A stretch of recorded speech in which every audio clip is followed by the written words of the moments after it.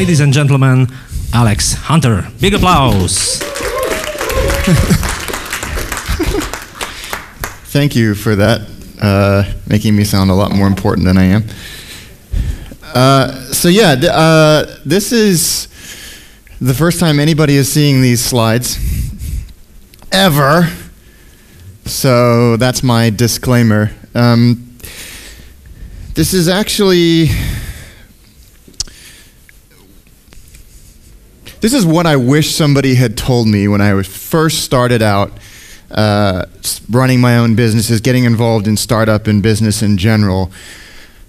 So it's basically going to be 45 minutes of me alienating everybody who's ever helped me um, and begging for their forgiveness at the end. But um, as you as you heard, I, I am an, an angel investor. I've run my own startup. I've run other people's startups. I've run incubators, aggregators. I have been punched in the face a lot in my career, and I just want to share some of the things that I, the mistakes I made, the things that I were was told that are completely incorrect. Uh, now that I've gone through the experience, um, and hopefully correct a few myths that even in the last day or two I've I've heard uh, come up over and over again. Um, there there is this ambition among entrepreneurs, entrepreneurs, uh, to change the world. What does your product do? Well, we're going to change the world by creating more efficient canonical data structures for endpoint API access. No, you're not. You're not going to change the world. In fact, stop even thinking about changing the world. It's just it's a it's a very odd and bizarre uh, philosophy to, on which to base your business. So I, I would strongly suggest step away from the grandeur. Silicon Valley companies are very good about this, uh, are good at thinking they're going to change the world, and spend more time and energy building something that's not terrible. Uh, you can't change the world with a crappy idea. And the chances of, of you actually changing the world, and I hate to be the one to say it, are very, very low. But that's okay. You don't have to change the world. You don't have to be a billion dollar company we have this, this pressure put on us as, a, as an industry, as a community of startups, that if you're not going to be a billion dollar company, then there's no point in doing what you're doing, which is just not true. I'm hoping that we can shed that rather dangerous thinking. Um, a bit negative. Oh, this isn't supposed to have sound. Oh well. Um, uh, can you lower the volume? It's nice though. Yeah, it's beautiful. Um, I think it, another thing that we, we serial entrepreneurs, which is just a nice way of saying douchebag, um, they gravitate towards ideas that they really don't know enough about to build an effective solution for. We, we try and create problem or solutions to problems that, that very few, if anybody, has. And I think that a much greater success uh, path is to build in an area in which you are familiar. Solve a problem that you actually have yourself. And, I, and again, instead of saying there's a market in, you know, South America that isn't served by this, that I think if we built this type of application, which I know nothing about, by the way, there's a market there. That's like walking off a cliff and building a parachute on the way down. It's not a great way to run a business. But if you keep running into the same problem, personal problem, like not personal hygiene problem, but just like this is something I struggle with every day, or at work, I run into the same problem over and over and over again.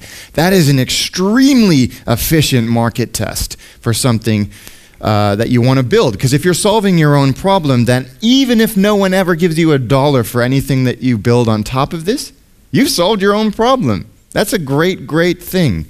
So when you're first starting out, solve a problem that you are confident in tackling and that you know exists, and build it slowly and methodically, feature by feature, as opposed to going, this is what, this is my idea, that's what it's going to look like in three years, and then trying to engineer what it's going to look like in three years because you will get frustrated and upset and demotivated and you'll lose steam. Whereas if you set a realistic goal early on and chip away at it diligently, you're going to find a solution very, very quickly.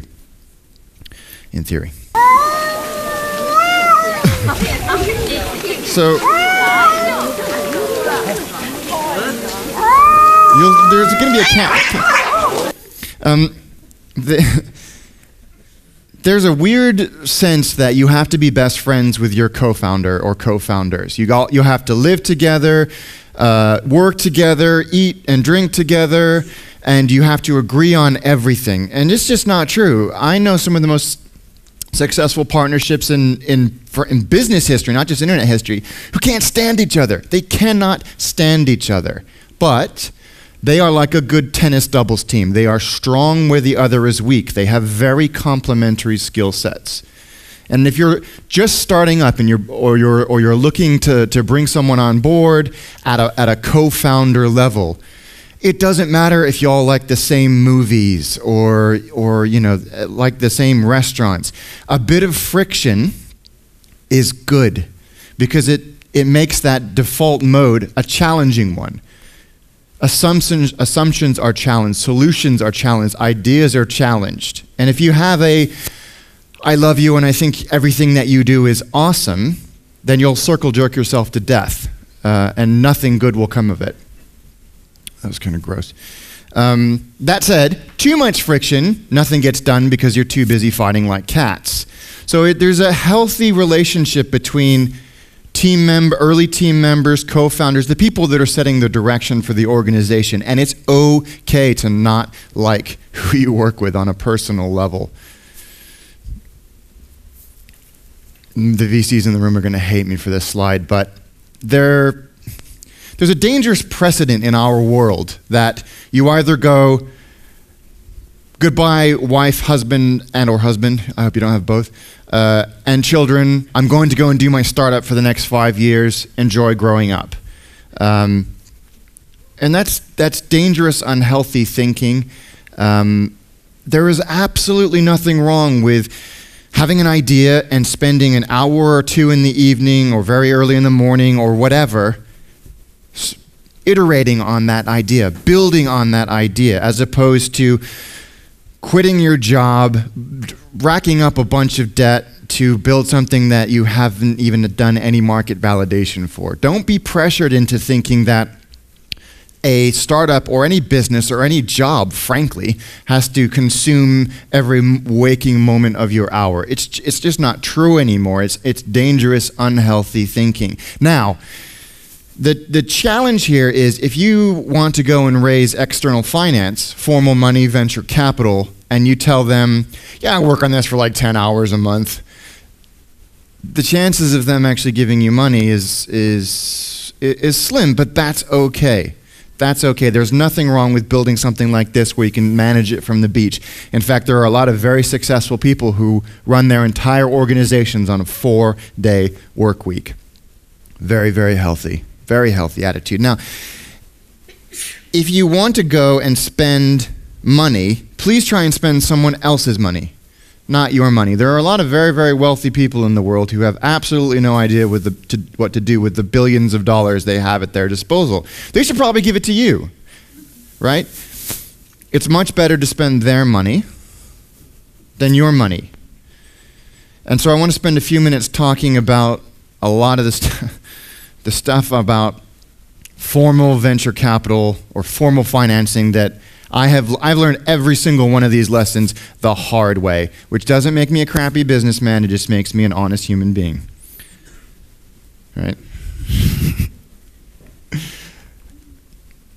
first first thing to know, everybody in the Silicon Valley is fucking crazy. They're all out of their minds. They're all completely batshit insane, every single one of them. And I get to say that because that's where I'm from. We're all mental, absolutely mental. We live in this bubble where reality doesn't exist, everything is a billion dollar company, and everything has an Uber for everything. When you step out and you look back at the valley and you hear them talk, you go, do you, can you even hear yourself? Do you have any idea the crap that's coming out of your mouth right now? This is extraordinary. That's what, I don't know how many of you have seen that show. That show is hilarious because it could be a documentary of how crazy Silicon Valley is. But that aside, and the sort of the froth that this weird ecosystem generates, underneath is a very, very sophisticated, interesting, innovative environment. Not just from a financial perspective, but from a mentoring perspective, from a growth perspective, and from a talent perspective. So, yes, everybody in the Silicon Valley is crazy. Yes, the valuations are insane and not sustainable. But underneath that, there are some really interesting stories and some people doing some very interesting things. So I would encourage you to look beneath that initial layer of horse crap and find the quality stuff underneath because there is a lot of it, especially when it comes to raising money. The amount of times where I have walked into a VC's office uh, for myself or on behalf of somebody else or with somebody I've been mentoring, and they have absolutely no understanding at a basic fundamental level how venture capital works is frightening, absolutely terrifying. I, I've sat there with somebody who um, I was. Am I going to get sued for saying this? There was a guy I knew uh, who had a, uh, um, an interesting financial arrangement placed upon him, and it was involved a merger and blah blah blah. I'm sure somebody will write a book about it. And there were two co-founders, and one of the co-founders knew what he was doing, and the other didn't. And they went into a VC's office and uh, separately, and one of them signed a uh, a deal, the dumb one, signed a deal that basically gave uh, the VC's controlling interest of the company for equity and no cash. Um, it was an absolute train wreck because he didn't know what dilution meant. He didn't know what uh, pre-value, uh, pre-money valuation, and post-money valuation. I mean, they, if you start an internet company or, or a startup at all, you are kind of like issued with this in the mail. It's like, congratulations on starting your startup. Here is all the terms that you need to know so that you don't get taken advantage of. If you are exploring raising any type of formal finance, do yourself a favor, spend at least a week understanding the basic. Of course, every deal will be different, but understand the terms and the gotchas and read about the disaster stories of people who have had their companies taken out from underneath them because of, of bad VC deals. Not all VCs are evil, just most of them. So, so just educate. There are some fantastic books. There's Venture Deals by Brad Feld. Did Brad Feld write that? Excellent book uh, on uh, uh, on, on very very clearly written with exercises and all that. It's like a textbook. I, I just sat in a oh, the, with a few of many of you might have been there in um, in the startup competition, and I was blown away by the quality of the product that had been created, the technology that had been. Like I said when I was there, when you usually go to a startup competition, it's we've made a stupid app that reminds you when to feed your dog, and we were raising $180 million. These were really technologically revolutionary in some instances products, and I was very, very impressed. But we had to reverse engineer the pitches to get to what it actually was. And at whatever stage you are in your organization, whatever role you play in that organization, you have to be extremely comfortable with the story that you are trying to tell. What are you doing? And who is it for? And what problem are you solving? There's the classic McClureism pitch problem, not solution. It's amazing to me how many pitches I've heard where it's like, it does this, and it does that, and it does this. Who's going to use it? I don't know. Students, maybe? I don't know. Students can't afford a $15,000 3D printer. What are you doing? I just made that example up. That wasn't reflecting anyone I heard today.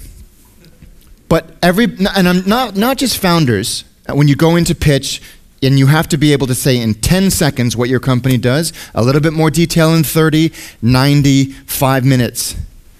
But every single person in your organization, when somebody comes up to them and says, What do you guys do? Bam, out it comes, clear, concise, crisp.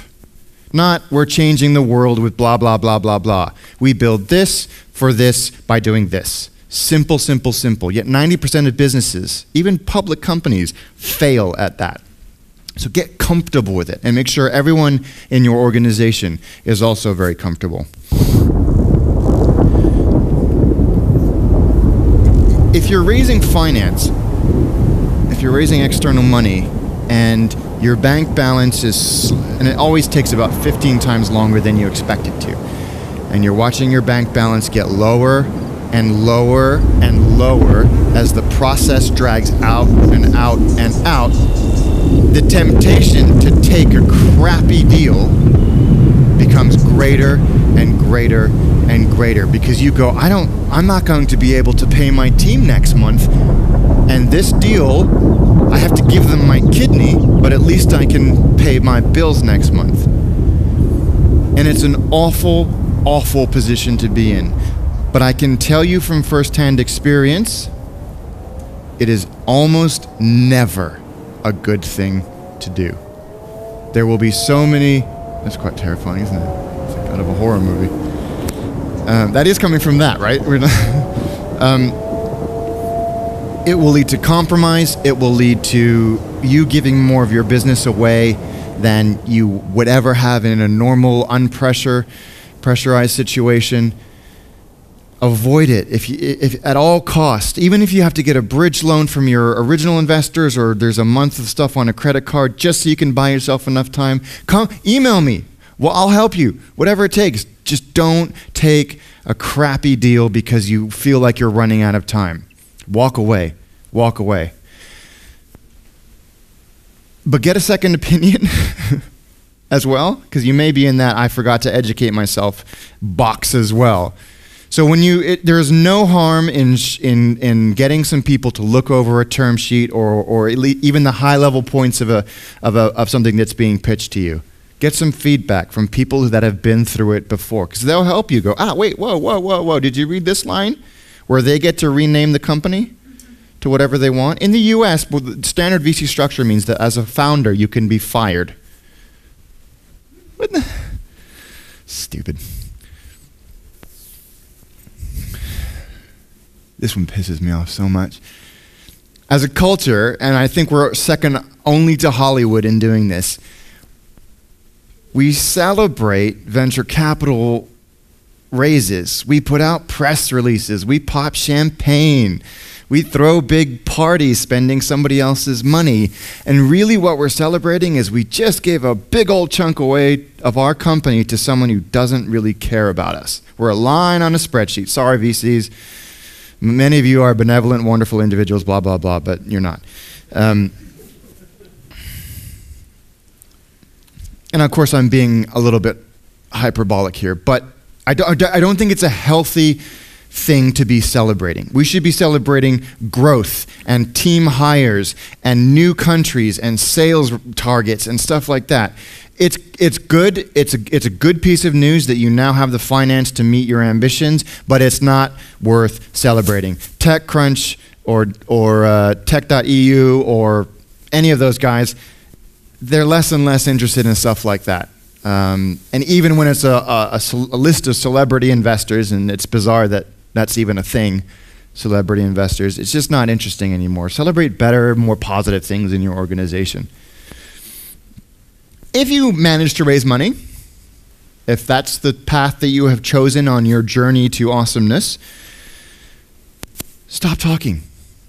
It is extraordinary to me how we look at the social web as a customer acquisition channel, yet all we do is talk about ourselves and not to the customer. We write blog posts, we write, we go to conferences and we stand on stage and we yap, yap, yap and we tweet and we make cute viral videos and blah, blah, blah, blah, blah. Meanwhile, not a line of code has been written, not a UX component locked down, not a graphic design. And a year goes by, and we're still talking.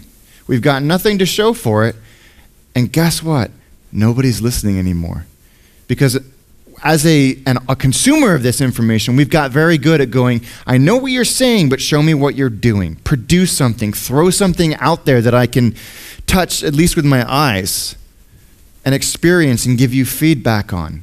We love to talk. We love to go and enter startup competitions, which is a good at a certain stage in our, in our growth, but not if we don't have anything to show for it. This is what we're going to build. That's like going on stage going, dude, dude, dude, I have an idea. I don't know how I'm going to do it, but it's going to make a million dollars. Not ready yet. Not ready yet. Build something and then use that as the basis for your conversation. The quality of information and response that you get back will be exponentially greater than look at this picture of the inside of our office. Look how empty it is, and look how nobody's working. There are some amazing people who write consistently amazing articles, uh, both online and offline, about our industry and peripheral indus- in industries as well. Paul Graham is one of them, as controversial as he sometimes can be, that write pithy, interesting, helpful, borderline philosophical articles about running startups, building startups, uh, startup markets, et cetera, et cetera, et cetera. He is the 1%. 99% of these things are link bait garbage. But when we find a problem, we run into a problem in our own organizations, we, we get a little bit lazy. And instead of working out the problem within our teams and, and reaching out to, to mentors and, and, and investors who can help us lead, solve the problem ourselves, we go, we Google, like, how do I fix this? Or how do I get more people to come to my site? It's like the answers you'll get to that question on Google are going to be link bait garbage. So be very judgmental. Be very fierce about what you let into your ecosystem, into your environment, and what you do with that information. Because a lot of people will give you a lot of things that they are absolutely positive, like I'm doing right now, are the right are, is the correct thing. This no no no don't listen to anybody else. This is this is what you need to do. And then the next article will be an exact contradiction of what that person just said. And it's exhausting and it's frustrating. So you have to build up a strong filter and trust yourself, trust your gut in the decisions about your product, right? Who knows your product better than you? Answer nobody. Trust your gut and run with it. this is exciting for me because I've got no idea what slide's coming next either. I want to spend a few minutes on this. Um, I think it applies to businesses of almost any size and age and location. You've got your idea, you've solved your own problem, you've discovered more and more people than you thought have the same problem, you've built a solution. That solution has caught the imagination of one or more investors who have given you enough capital to scale, your revenue's going up, you have happy users, and you think now is the time to expand beyond your region, beyond your continent, doesn't really matter. But let's explore some, some philosophies behind this.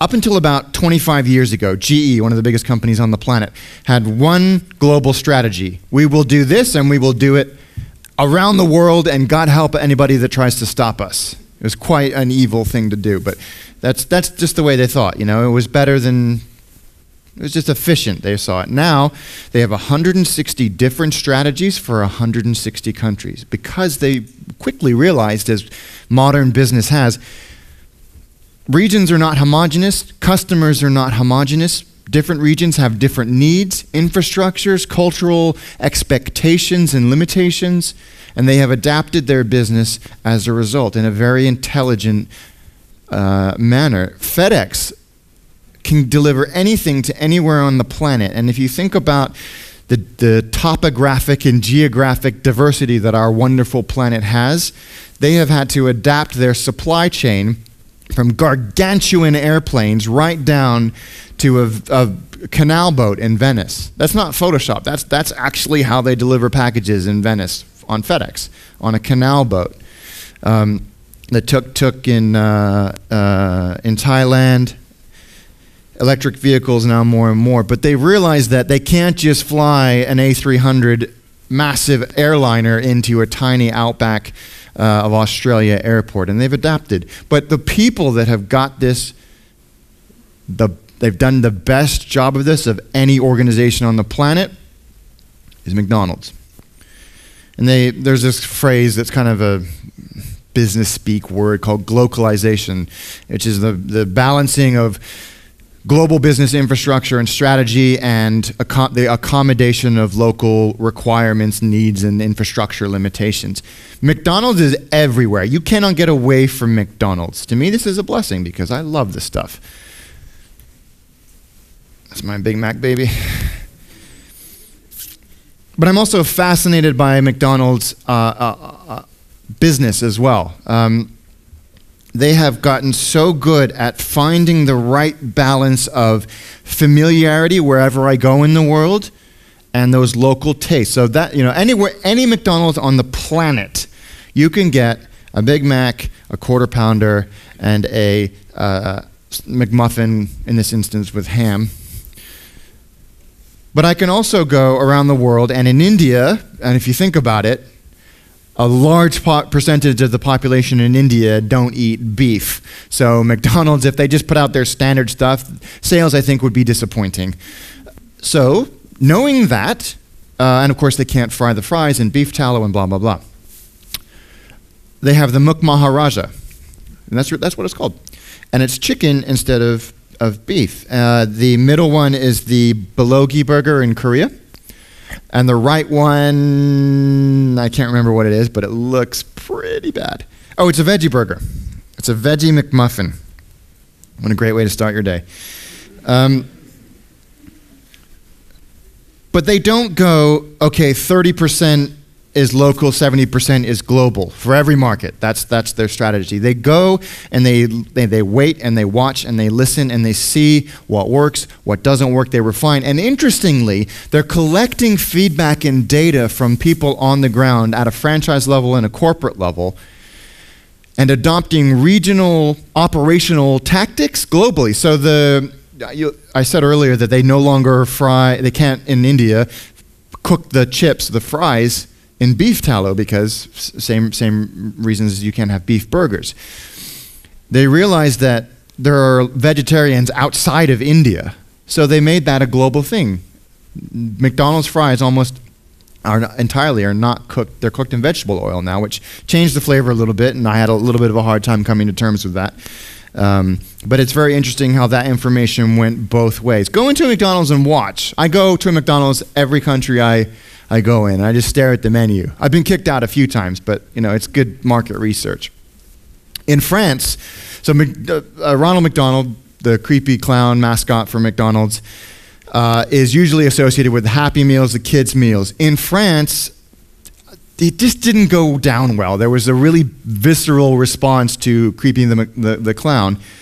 And so they license uh, Asterix as the, the kind of the spokesperson in perpetuity for McDonald's uh, kids meals because that the clown just didn't just didn't work, and they're fine with that. They didn't go, look, he's our mascot. This we can't just get rid of Mc, Mc, uh, what is this called? What is he called? Ronald McDonald. It'd be like Disney getting rid of Mickey Mouse, but McDonald's they, they get it that you have to adapt to survive in different regions. And remember, this scales across 34,000 sto- uh, stores in 119 countries and, and 1.7 million staff. So it can, it can, that type of regional sympathy can, or sympathy is not the right word, but you know what I mean, across any industry and any size. They really are an extraordinary model. Those of you that have heard me speak before know this is um, where I get a little carried away. There, I, you've probably read books and articles and, and blog posts about this word, the F word, um, failure. And it's something that I have a borderline sociopathic relationship with because I think it's, it's something that has set our industry back several years because it has been turned into a celebrity. We endorse failure. We love failure. We glorify failure as a badge of honor that one has to achieve before you can really attain the great heights of superstardom on the internet. You have to fail before you succeed. Failure is good. Failure is wonderful. It, it's not, and I'm gonna. I'm, I will never ever be persuaded otherwise. Failure is of very little value. It's a waste of time, um, and the data that it produces is uh, overemphasized and often hugely misleading. This is from. This is a quote from.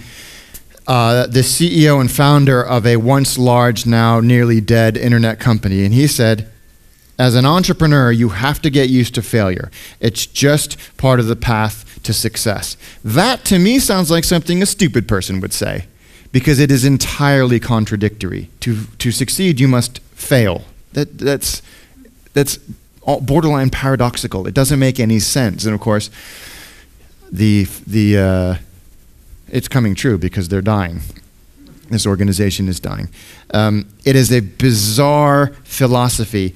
And I think that there, I have two theories about why this is so popular. One, the people that are failing and see that they're failing are using this, oh, it's okay to fail, as a way of dealing with their own problems, like tequila, you know?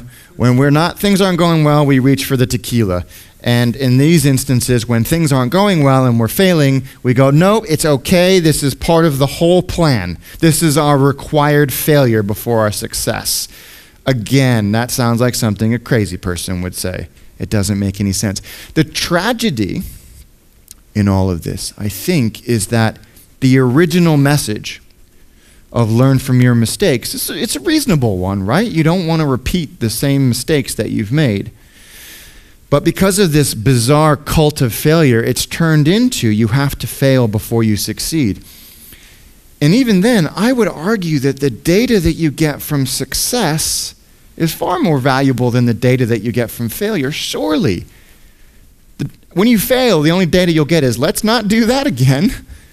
Whereas if you get data from success, it's, let's just keep doing that over and over again because look at all the money that's raining down on us or the happy customers that we're creating. The worst part is, I think because we're so focused on failure, we've inadvertently become afraid of taking risk. Do not do you honestly think that if the guys that invented this thought they had to fail before they succeeded, they would have done it? No. They wouldn't have. And now they get to jump off cliffs in a sleeping bag. So I think there's a healthy balance between, okay, we failed, let's move on, uh, and just ignoring it as opposed to saying, oh, there's a man with a beer. Saying, yes, we have to fail before we succeed. Less ranty this time, yeah? There's a book called Don't Sweat the Small Stuff. You all probably have seen it or read it. Um, I've never read it, but I just think this, the title is stupid because I don't think that there is such a thing as small stuff because in our world, our connected economy, the small stuff is now the big stuff. The little things that we do are the ones that get amplified the fastest and are the easiest to change and are the easiest to create very targeted moments of delight with our customers and stories that people grab onto. The small stuff is what gets me coming back over and over again. Um, there's a hotel in New York. How am I doing on time? Fine. Um, there's a hotel in New York. Uh, you know, when you go to a check in at a hotel, you have to fill in a form your name, your email address, probably your passport number. Well, at this one, this little tiny boutique hotel, standard information, and then at the bottom it said, What are your favorite snacks? I was like, oh, whatever, that's weird. Uh, blah, blah, blah. I have, a, for those of you that don't know me, I have an unhealthy relationship with Diet Coke. I, I, consume a dangerously high amount of it. I can probably glow in the dark. So I wrote Diet Coke, blah, blah, blah. Finished the transaction. That piece of paper was taken away, paid the deposit and everything I do. And when I went up to my room, uh, there was a basket of all my favorite snacks as you can see there, including Diet Coke, and a handwritten letter from the management saying, Hey, it's good. Thanks for coming, Alex. Welcome. We hope these things make you feel at home. I'm never staying in another hotel again. Anybody who bribes me with Diet Coke is a friend of mine. Now, My marketing friends in the room know that this is a cheap psychological trip to take away the sting of, home, uh, of, of feeling homesick by surrounding you with things that are familiar to, to you. It's a very it's, it's a proven psychological fact. Very good hotels do it all the time, uh, and they it worked. You know, I didn't feel as far away from my my friends and family because I was surrounded by unhealthy food. But here's what they got right, and that's easy. But here's the thing: every time I go back to that hotel, this is eight years I've been going to this hotel. They don't have to ask me the same question. I go up to my hotel room and there it is saying, Welcome back, Alex. We got your favorite snacks. If there's anything that you've gone off of or you've changed your mind, just let us know. It would be the same as me. And it's extraordinary to me how we forget these conversations that we've had with our customers. Like it would be like me going up and saying, Hey, I'm Alex. And Max says, Hey, I'm Max. Cool. And then I walk away, and 30 seconds later, I go, Hey, I'm Alex. And he's like, Dude, we just, we just met you're kind of a dick for not remembering that. And that's the same impression that we're giving our customers when we keep asking for the same information or we don't remember our previous interaction. It's the same feeling that we give our customers. And yet, with the technology we have today, it's so easy to solve. And I think that what these guys did, and the companies that do really, really well, is we're all good at optimizing transactions. We squeeze every last penny out of every last link to make sure it is optimized as it's going to get. Where these guys, and Apple do this as well, they'll break the rules to invest in the relationship. So even though they, yeah, maybe they could have upsold me on some, you know, internet or Wi-Fi at the hotel, um, but by giving it to me for free or giving me you know, $2 worth of snacks. I've gone back for eight years now to that same hotel, probably paid above the odds in my nightly, my nightly rate. And that investment of a couple of snacks and some Diet Coke has paid off 50x. Apple will break the rules out of warranty and replace a device for customers they know have been loyal. And that's why they're loyal in the first place, because they know their customers. They remember the context, broader context of their relationship. Everybody know what that is? Thermostat, right? So Nest, designed by the guy that design, originally designed the iPod. It's a very uh, amazing device. And the challenge I get when I talk a lot about branding is that, oh, Alex, I'm in, I'm in, uh, I don't know. What's boring? What's a boring industry? Insurance underwriting, right? That's boring, isn't it? I can't be sexy. We can't sexify our industry. Horseshit. Absolutely not true. There is absolutely no industry in the world, and I have yet to hear a, a, a challenge to this, that cannot have the same revolution that the Nest put the thermostat and home uh, management industry through. And look at the look at the the the energy like mental energy, not not electrical energy. It has kicked off in the Internet of Things and smart homes and wearables. That's all because of innovation like this. They thermostats are generally white or beige boxes that sit on the wall. Uh, in a very old school uh, readout, make our houses too hot in the summer and too cold in the winter. And they've not only gone at a technological level, yes, we can make it more efficient so it learns your patterns, but it's also so beautiful that I just want to go up and lick it. So they've thought about the human experience and the technology experience, and you can do that with just about anything. The C word, community. This is something that marketing people like me love going on about, and it's diluted the value of this very precious term a lot. And I want to focus on a very specific component, which is the individual people that are enthusiastic about what you do. And I'm going to just tell you a really quick story. There's a company in London called Pact, and it's just a, sub- a, subscription coffee company. Every week or two weeks, through your mailbox comes a little envelope full of coffee. I, I'm not a big, I like coffee, but I don't know you know, I'm not a coffee connoisseur, but at my previous job, I worked with people that had like meth lab level setup, coffee setups and who liked good coffee. And we had this come into the office. It's good stuff. Anyway, about a week before Christmas last year, I was sitting at my grandmother's house in the countryside in England, flicking through Twitter, pretty hungover, trying not to move anything else on my body except my thumb. And this sponsored tweet, I don't follow them on Twitter, this sponsored tweet came up, and it was from them, and it said, Proper coffee, blah, blah, blah, hand roast. It was an ad. It was an ad for their service. And I was in a bad mood, and I have a, uh, I don't like the word proper in marketing. It's overused in the UK. It's very smug and elitist, and it's sort of a, I'm telling you that I'm better than you because everyone else is just terrible. It's a very British word. And I, for some reason, I was so pissed off and hungover by this word that I replied to a sponsored tweet, which is a little bit crazy, but I did. And I said, guys, and look, I even did the, the total jerk move of putting a, full, a period, a full stop, so that everybody in my, my feed would see it. I mean, that's just only, only bad people do that.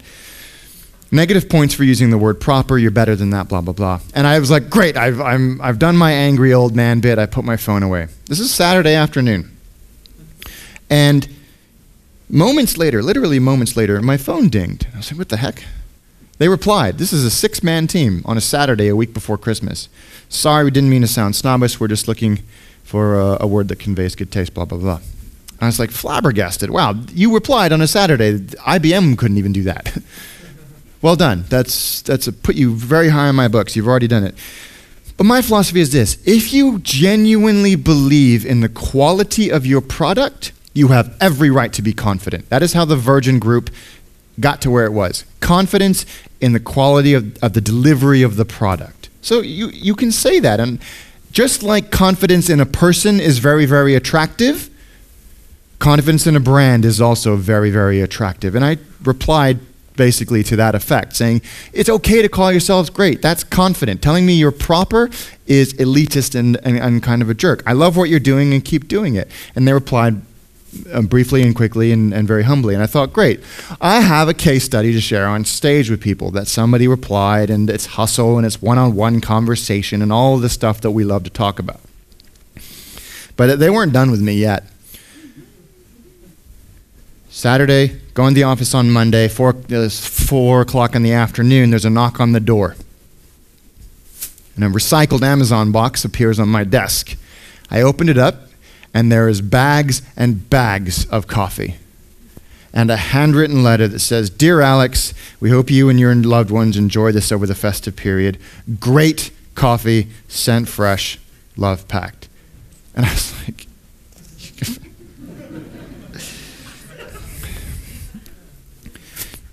now this it's a great story. It doesn't cost them much money at all to send to, to, to courier it over to me. Um, I just love the story. But here's the thing that I think wowed me the most. I was already a customer. I, they weren't trying to woo me or get me to subscribe. I was already paying them each week for coffee. As far as most businesses concerned, there, I would need zero effort. I am, I am in the we don't need to worry about them box. But these guys went out of their way to delight an existing customer. And I wish more of us would take the time to delight our existing customers instead of trying to chase the next customer. And on that note, all I want to say is, is keep working hard, go delight that customer, and continue to build the amazing things that you're doing in Poland. Thank you very much, guys. I appreciate your time.